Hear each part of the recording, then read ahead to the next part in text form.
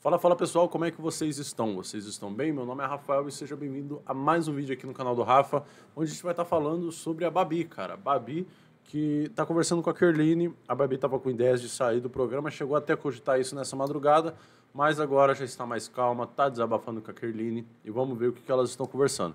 Essa conversa aqui tem bastante cortes, tá? Mas vamos pegar a última aqui, que ela tá falando da Deolane. Vamos no lá. momento em que a gente está na expectativa da chegada de alguém que a gente quer que chegue muito, que a gente sabe que uma pessoa vai sair E e, outra pessoa vai vai, gerar um chegar e que sofrimento. aquilo vai gerar um sofrimento, você escolhe escolhe fazer uma maldade com a outra pessoa.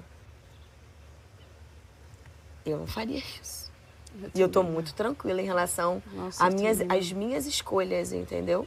Isso é Pro bom. programa isso é engraçado, é, para algumas pessoas, outras pessoas não, também vão sentir que nem a gente. Vão falar, cara, não. Não, não foi no lugar, não foi na hora certa. Na hora certa. E isso mostra muito sobre o, o caráter dessa pessoa. Tá certíssima. A leitura de Babi num, pro- num programa, no, no reality show, é, é perfeita, cara. Perfeita.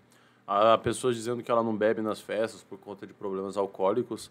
E eu, então, eu bato palma pra ela, porque quando acontece de pessoas beberem nas festas, fazerem besteira, a galera que, que tá falando isso agora sempre critica, falando: ah, por que então vai beber? Pra que vai pro reality show beber?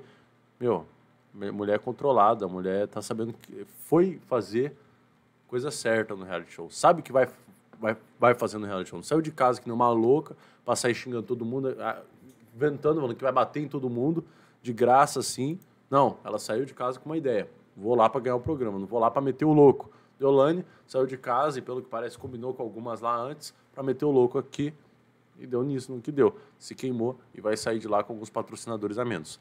Enfim, gente, o que, que vocês acham? Comenta aí. Voltamos mais tarde com mais vídeo. Muito obrigado a sua participação. É nóis.